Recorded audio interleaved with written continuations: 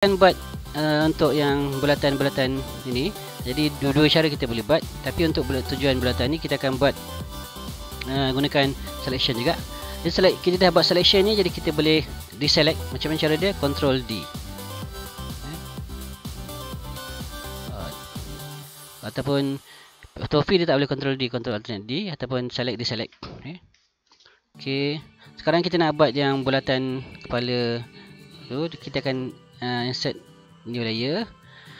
Selanjutnya kita akan buat uh, belatan ni. Kita akan buat belatan yang putih dulu. Jadi kita gunakan selection Ellipse Dan warna kita tukar pada warna putih. Okay Klik ok Okay jadi kita ni kita dah Tahu macam nak buat tadi. Kita boleh Mula daripada tepi Ataupun kita boleh mula daripada tengah. Jika kita nak mula dari tengah Kita tekan AL ALT Dan kita drag. Dia akan mula daripada tengah Okey. Kita select. Kemudiannya kita akan tuang dia warna putih. Gunakan uh, pen bucket tadi. Kita tuang ke dalam ni. Okey, warna putih. Jadi kita akan kurangkan transparansi dia. Okey, kita buat layer baru ya. Untuk kita buat yang warna merah pula. Seperti sama kita control uh, kita select deselect. Dan kita lukis balik semula ni kita mula dari tengah tekan nak mula tekan AL dan kita tarik. Okey jadi kita tuang cat warna merah. Okay, kita tukar sini warna merah. Kalau, ataupun boleh gunakan eyedropper untuk memilih warna merah. Kalau nak guna eyedropper boleh juga kita klik sini dan kita pilih warna ni supaya sama semua. Dan kita tuang menggunakan uh, pen bucket dan kita kurangkan capacity dia untuk kita supaya boleh nampak belakang. Ok. Jadi sekarang ni kita dah buat yang ini untuk uh, kepala putih. Kita namakan dia kepala putih. Double click. Putih. Kita enter. Yang ini kita double click nama layer kita sini. Ini kepala merah. Ok. Yang ini tadi kita buat apa? Ini adalah uh, bulat biru ya. Kita double klik. Double klik kepada uh, nama dia. Okey, kemudiannya supaya kita kita deselect ni, select deselect. Okey, jadi sekarang kita nak uh, cepat. Jadi kita copy, kita duplicate dua-dua layer ni. Okey. Jadi kita duplicate lagi sekali. Kita ada apa ni? Okay, sebelum tu, sebelum kita duplicate, kita nak potong dulu yang warna putih ni. Okey, saya nak uh, macam nak delete? Tekan ni, klik ni dan jangan klik tekan shift. Klik yang kedua boleh delete. Okey. Sekarang kita nak potong uh, putih ni sebab dia dah terlebih daripada ni. Okey, kepala putih ni. Okey, kita hidekan yang merah. Jadi kita klik pastikan kita klik pada layer kepala putih dan kita gunakan selection boleh gunakan selection apa-apa. Saya nak gunakan polygon uh, lasso tool sini ya klik kanan okey kita klik sini dan klik sini klik sini klik sini klik sini. Okey kemudiannya kita tekan delete pada keyboard. Dia akan potong. Jadi control dia ataupun select uh, di select. Okey jadi barulah kita uh, copy layer ni. Kita klik ni dan tekan shift itu dan kita right click dan kita pilih duplicate layer. Kemudiannya kita gunakan uh, move tool ni dan kita bawa dia ke sebahagian sini. Pertama kita bawa satu-satu dulu yang kiri ni putih kemudiannya yang merah kita bawa uh, kita bawa yang uh, kepala merah copy okay. kepala, kepala merah copy ini. Okay, sama dia, dia jadi saya tak nak ni saya offkan auto select ya. Masalah sikit. Okey, saya offkan auto select. Dan saya klik pada kepala merah copy. Dia tarik okey, saya nampak itu dia kepala merah copy dah dekat sini. Kita hidekan yang ini. Yang saya nak pusingkan kepala uh, kepala merah putih ni. Okey. Jadi klik pada layer kepala merah putih. Kita boleh edit dan kita boleh transform dan kita boleh pusingkan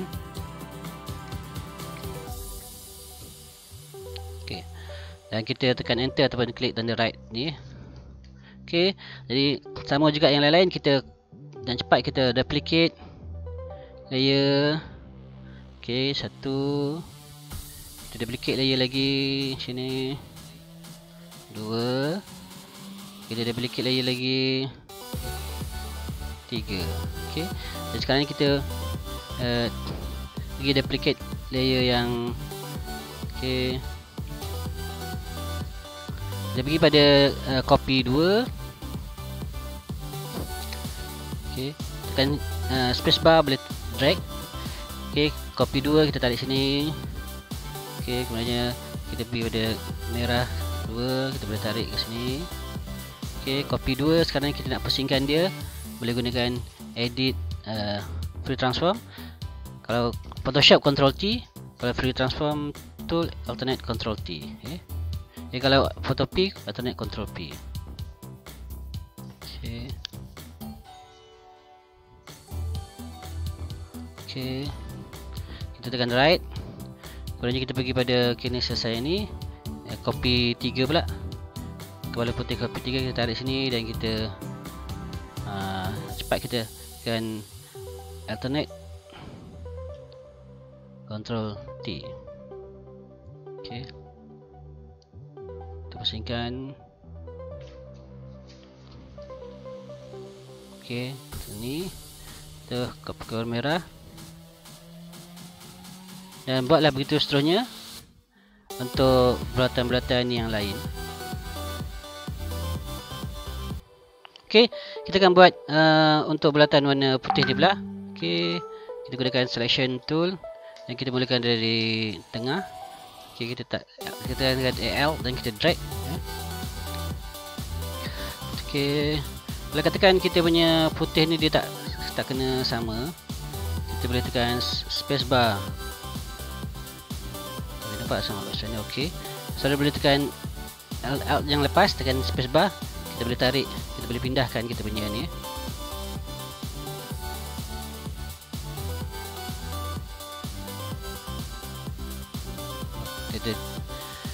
Okey sekali lagi buat dengan uh, drag klik drag tekan alt. Okey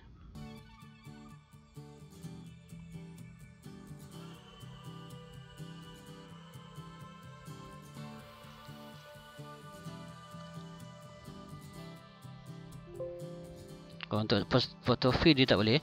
Photoshop dia tekan kita tekan spacebar dia boleh pindahkan. Kita punya ni ya. Kita kena buat kita buat semula tekan Alt. Dia akan mula di tengah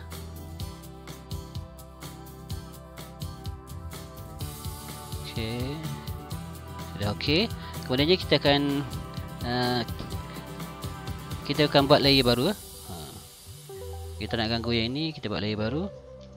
Ok jadi layer baru ni buat sebab kita klik dekat kepala putih kopi ni yang ini. Jadi kan buat layer baru di, di tu kita nak letak dia dia di, di bawah uh, bulat biru tapi kita buah belak biru. Okey. Kemudian kita nak tuang uh, cat warna putih kita pilih sini warna putih dan kita uh, pen bucket kita tuang di sini. Okey. Jadi kita dah ada ni. Uh, okey kita boleh namakan ni bulat putih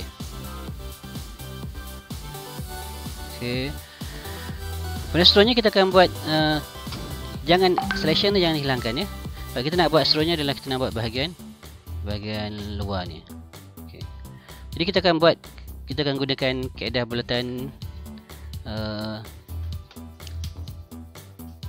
Okay, kita pilih uh, selection ni. Okey. Dan kita akan gunakan uh, uh, subtract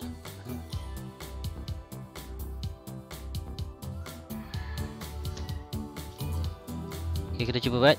Okay, kita nak start daripada sini. Kita pilih sini subtract ni. Dan kita klik dari tengah dan kita tekan LT dan kita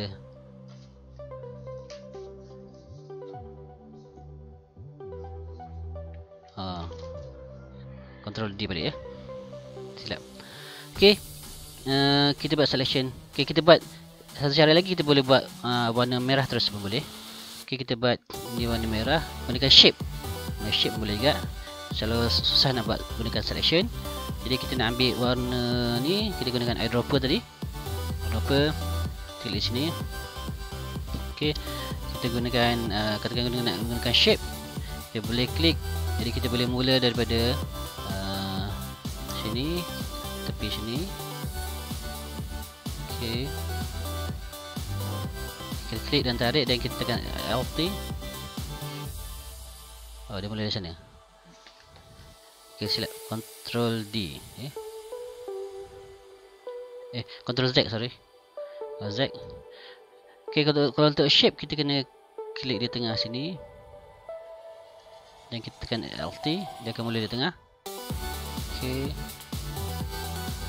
jadi kita sebenarnya kita nak buat uh, dalam menggunakan layer baru eh? Uh, kita Ctrl Z dulu jadi kita nak ganggu ni kita akan buat uh, gunakan layer baru. Jadi kita buat layer baru. Jadi kita nak dia layer baru uh, di atas uh, kita buat letak di atas sekali boleh ni. Kita letak klik pada layer di atas sekali dan kita buat layer baru. Ok. Kemudian kita lukiskan bulatan warna merah untuk ini. So dia boleh adjust dia punya guide ni. Tarik sini. Guide tunjuk dekat garisan yang warna biru ni sini. Ok yang ini sudah kita boleh nampak. Okey. Jadi kita uh, gunakan ini. Kita klik dan tarik. Okey. Okay, kita mula dari tepi ya. Okey. Okey. Jadi sekarang ni kita nak supaya bulatan ni dia berada di kita nak warna merah dia warna putih jadi kita boleh ubah kat sini ubah sini warna merah Okey.